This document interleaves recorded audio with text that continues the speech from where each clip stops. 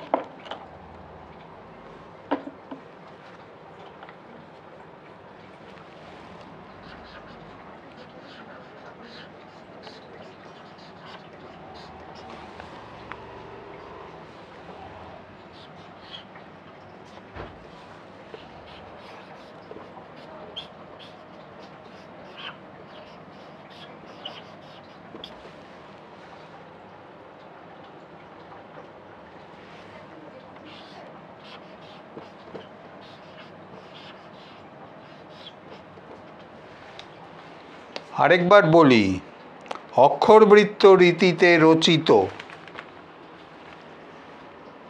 আট ও ছয় মাত্রার দুই পর্বের চরণযুক্ত যে ছন্দবন্ধে ভাব চরণান্তে আংশিক বা সামগ্রিক প্রকাশিত না হয়ে পরবর্তী একাধিক চরণে স্বচ্ছন্দে প্রবাহিত হয়, তাকে বলে প্রবহমান পয়ার।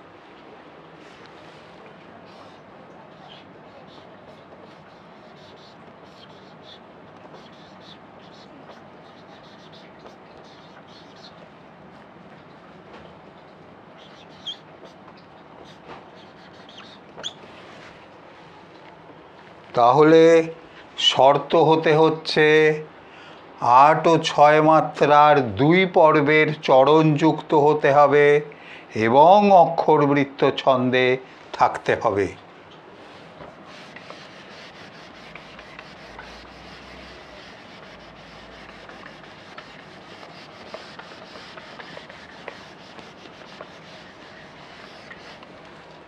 পরের প্রশ্ন পাঠিয়েছেন হাওড়া থেকে চিরশ্রী রায়।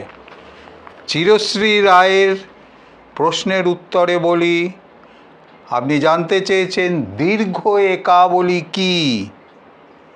যে ছন্দবন্ধের দ্বিপার্বিক চরণে বারো মাত্রা নির্দিষ্ট, তাকে বলে দীর্ঘ একাবলি, অর্থাৎ একাবলির চরণ ছয় যোগ ছয় বারো মাত্রার হলে দীর্ঘ একাবলি হয়।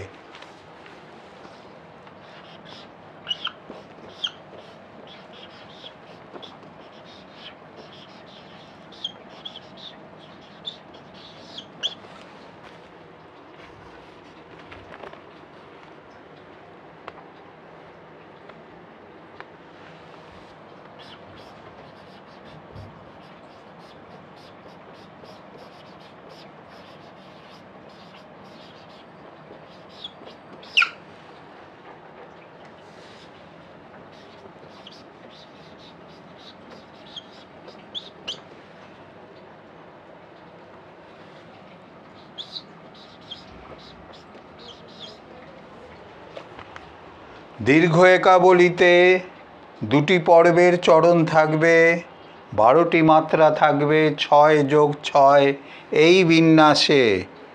যে ছন্দবন্ধের দ্বীপার্বিক চরণে বারো মাত্রা নির্দিষ্ট, তাকে বলে দীর্ঘ একাবলি, অর্থাৎ একাবলির চরণ ছয় যোগ ছয় সমান সমান বারো মাত্রার হলে দীর্ঘ একাবলি হয়।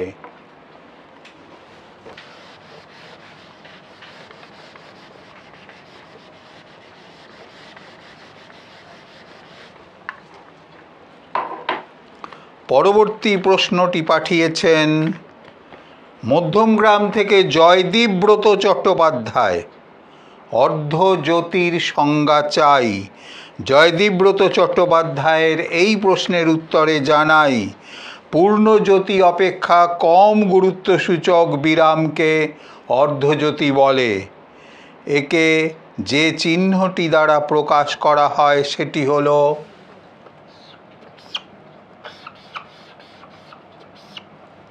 এই রকম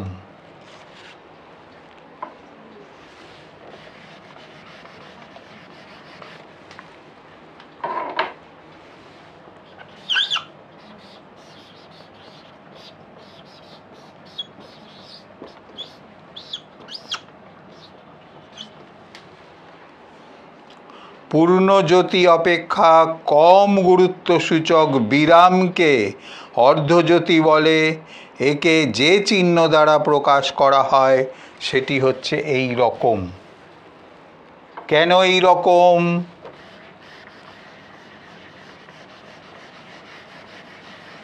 খুব সহজ হিসেবে আমরা দেখতে পাই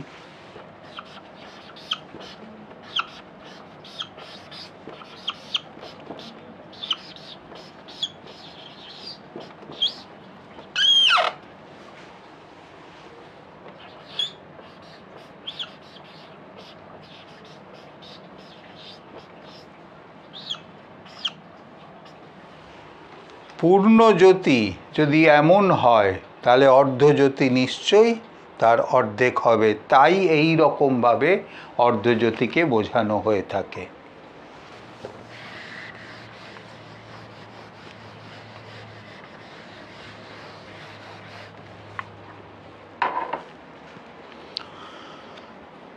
চন্দ্রানী রায় প্রশ্ন পাঠিয়েছেন দত্তপুকুর থেকে।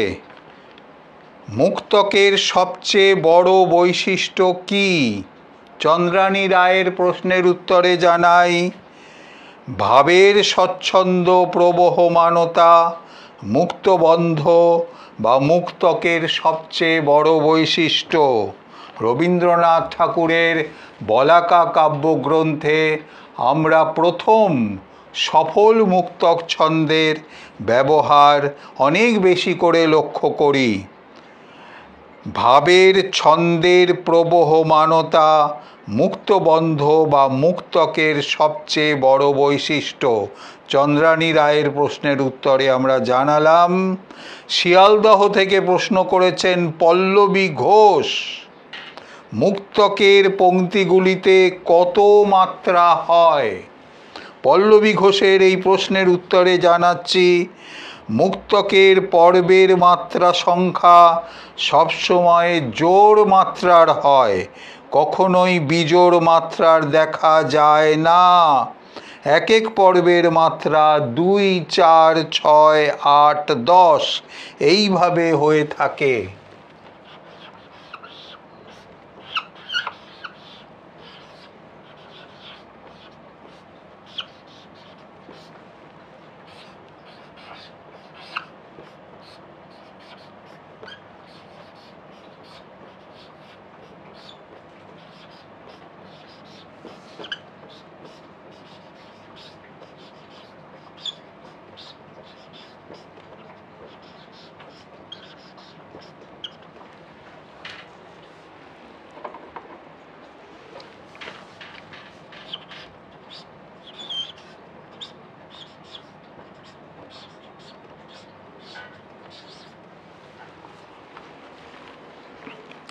মুক্তকের পর্বের মাত্রা সংখ্যা সবসময় জোর মাত্রার হয়, কখনোই বিজোড় মাত্রার দেখা যায় না।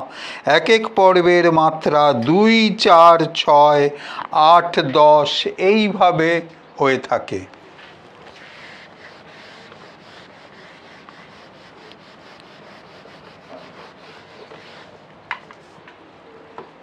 পরের প্রশ্ন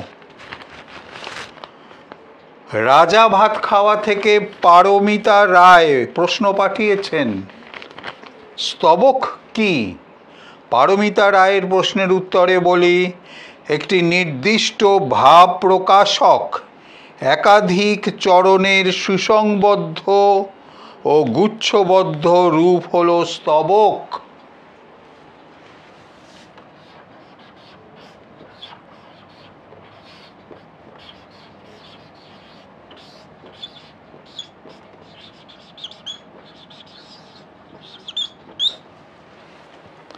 একটি নির্দিষ্ট ভাব প্রকাশক।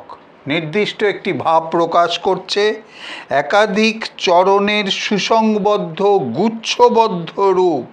সুন্দর করে সাজানো একাধিক চরণের যে সুন্দর গোছানো এবং সাজানো যে রূপটি, তাই হলো স্তবক।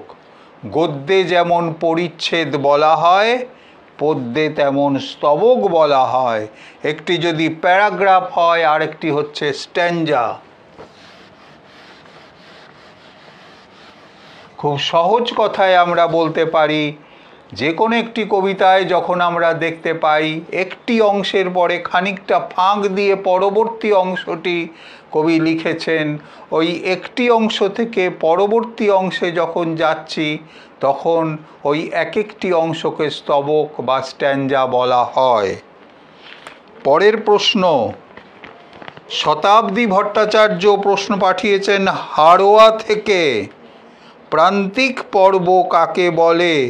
শতাব্দী ভট্টাচার্যের প্রশ্নের উত্তরে বলি।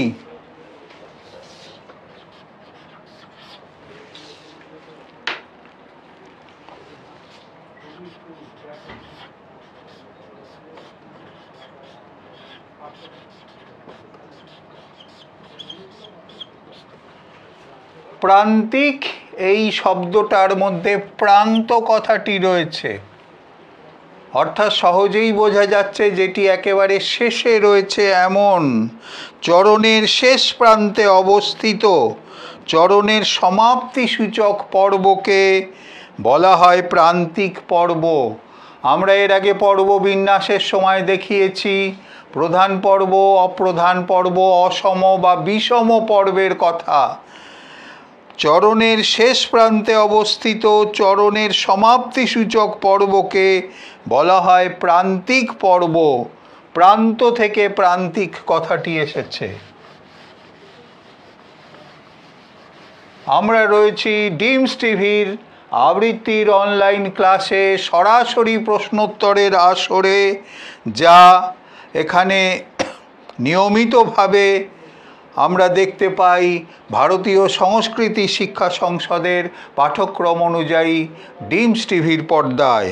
পরের প্রশ্ন B K Swapan New Town থেকে প্রশ্ন পাঠিয়েছেন, বাংলার মুখ আমি দেখিয়াছি কবিতাটি কোন ছন্দে লেখা? বি কে স্বপনের প্রশ্নের উত্তরে জানাই, জীবনানন্দ দাশের বিখ্যাত কবিতা বাংলার মুখ আমি দেখিয়াছি, যা রূপসী বাংলা কাব্যগ্রন্থের অন্তর্গত। এই কবিতাটি অক্ষরবৃত্ত ছন্দে লেখা হয়েছে। ধীর লয়ের কবিতা এবং মাত্রা হল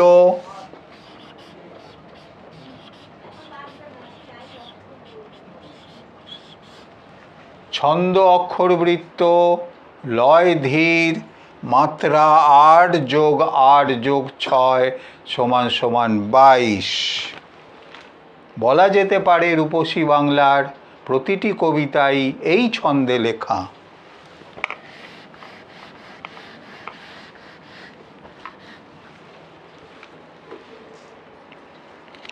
চৈতি ঘোষ বিরাটি থেকে প্রশ্ন করেছেন অমিত্রাক্ষর ছন্দের সবচেয়ে বড় বৈশিষ্ট্য কী?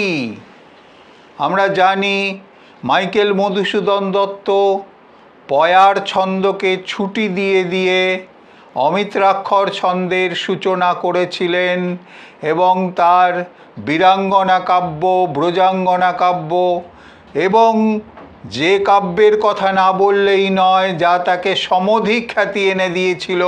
মেঘনাদবধ কাব্য তিনি লিখেছিলেন এই অমিত্রাক্ষর ছন্দে। অমিত্রাক্ষর ছন্দের সবচেয়ে বড় বৈশিষ্ট্য হল ভাবের স্বচ্ছন্দ প্রবহমানতা, যা ছেদ ব্যবহারের স্বাধীনতা থেকে সৃষ্ট হয়েছে। ছেদ ও জ্যোতির অনৈক্য হল অন্যতম একটি বৈশিষ্ট্য। আমরা দেখতে পাচ্ছি ছেদ ও জ্যোতির অনৈক্য।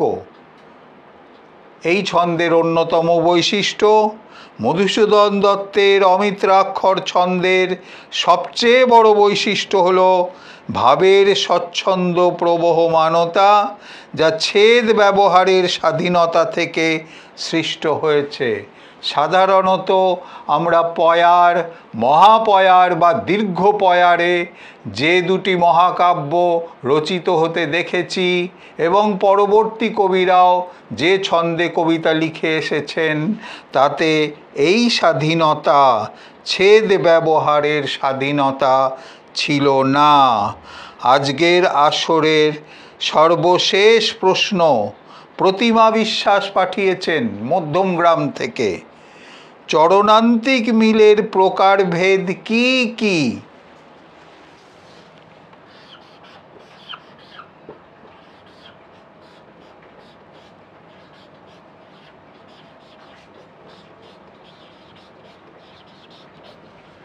প্রতিমা বিশ্বাসের প্রশ্নের উত্তরে জানাই, চরণান্তিক মিল চার রকমের হয়ে থাকে।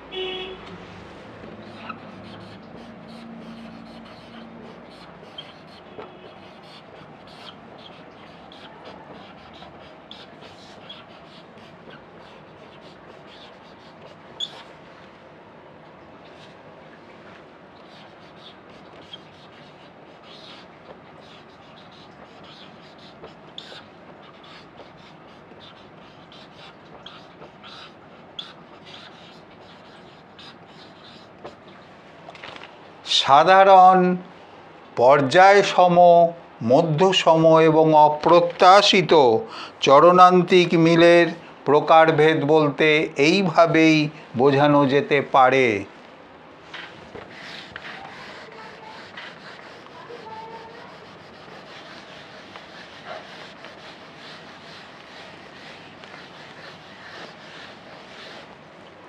বন্ধুরা, আমরা আছি ডিমস টিভির আবৃত্তির অনলাইন ক্লাসে ভারতীয় সংস্কৃতি শিক্ষা সংসদের পাঠ্যক্রমে যা নিয়মিতভাবেই চলছে। আপনাদের যে কোনো প্রশ্ন আপনারা পাঠাতে পারেন।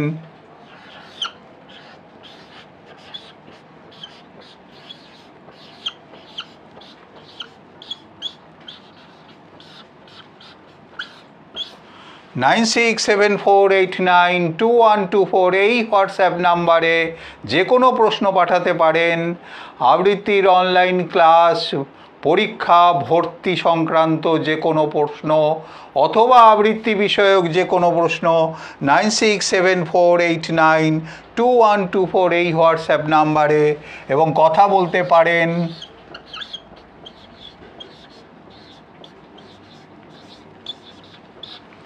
Nine zero seven three two five three zero nine one. আবার বলি nine zero seven three two five three zero nine one. এই নম্বরে কথা বলতে পারেন।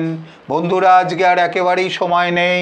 বাকশিল্প, আবৃত্তি ও শ্রুতি নাটক চর্চা কেন্দ্রের সহযোগিতায় ডিমস টিভির আবৃত্তির অনলাইন ক্লাস আজ এখানেই শেষ করছি।